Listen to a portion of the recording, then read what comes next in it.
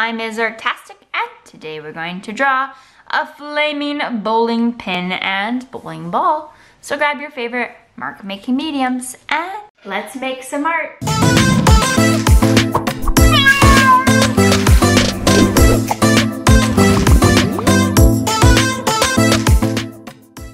We're going to begin our flaming bowling pin and bowling ball by drawing the bowling pin here the bowling ball on this side, and then we'll draw the flames around them. First, we're going to draw a curved line up, curve it in, out, and up for the top of the bowling ball, and then bring it back down. Next, we're going to continue that line down, around, and tuck in.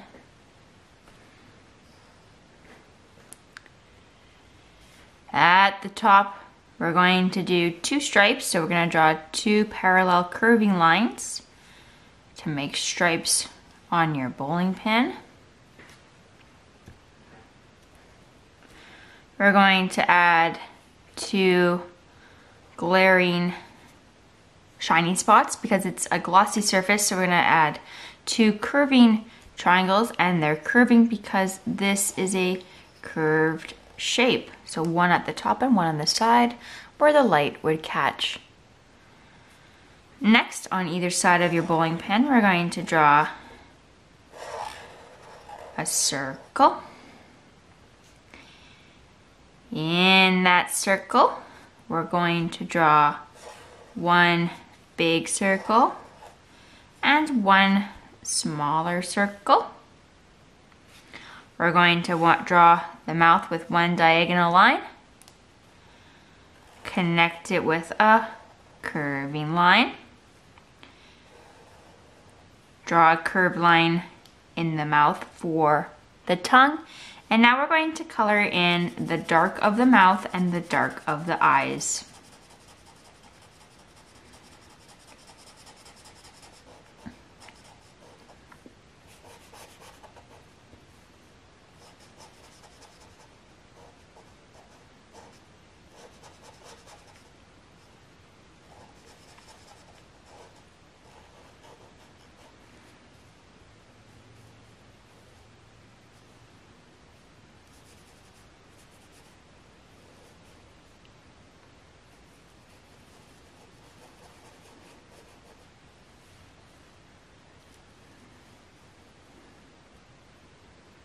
Perfect. Around the eyes, you can add some little lines and around the mouth you can do the same and this is just going to add some expression to our face. Take your marker, go around the outside to tidy up the lines, smooth it all out, and make it bold.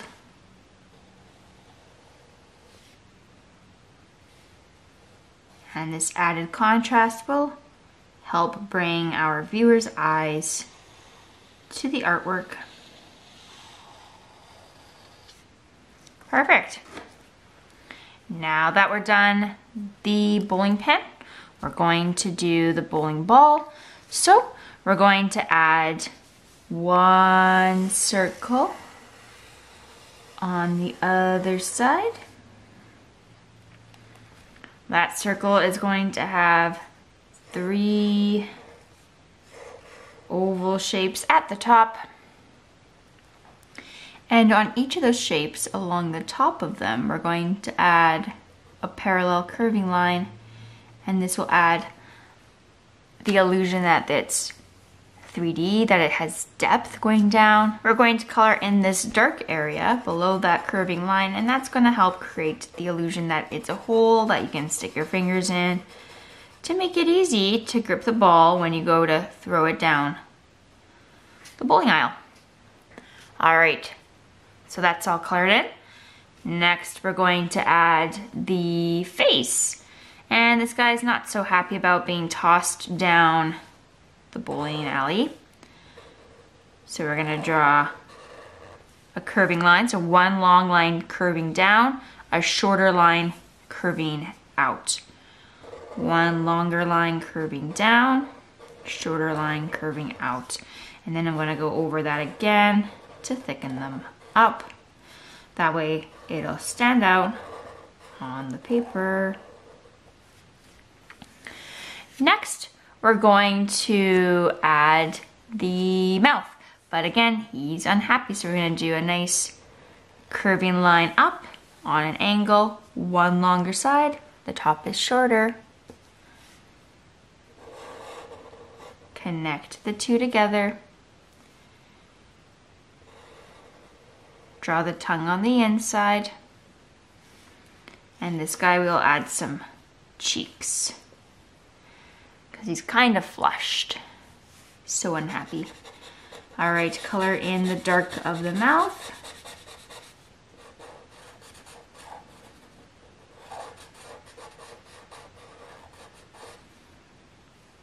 Next, we're gonna add those expression lines with some thin lines around both the eyes and the mouth, just wherever you feel like you need a little bit more expression. Then you're gonna take your marker, go around the outside.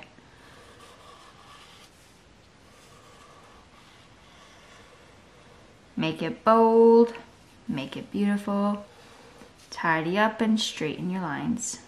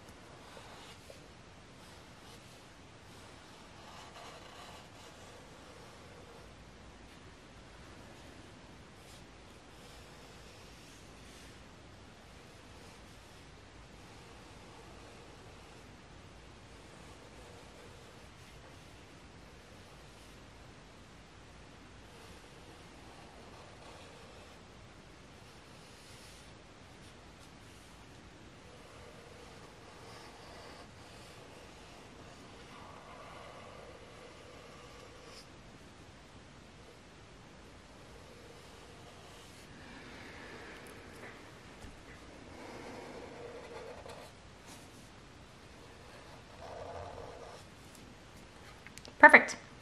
Next, we gotta make these guys flaming. I'm gonna start on the bowling pin first. We'll draw a U shape along the bottom. And then we're gonna add some curving lines here and there. Just like that. Along the inside, you're going to draw a smaller version. For the lighter part or the hotter part of the flame. And now we'll do the same around the bowling ball, bowling ball but it's going to be slightly overlapped.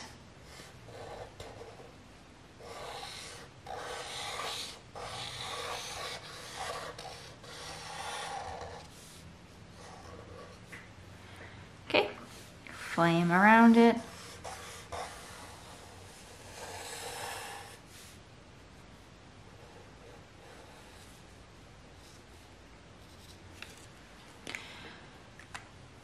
And now we're ready to color. So grab your favorite mark making mediums and we're going to color. I'm gonna start off with the flames first. I'm gonna do yellow on the inner flame, orange around it.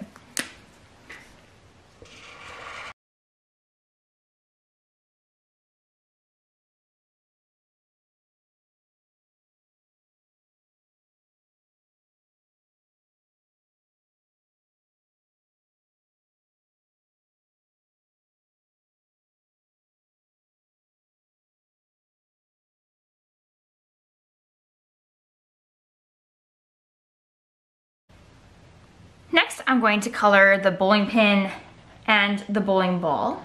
You can color the bowling ball any color you want. So you can grab your favorite mark making colors and color in your bowling ball. And then we'll do the bowling pin, which will be a lot easier as most of it is white.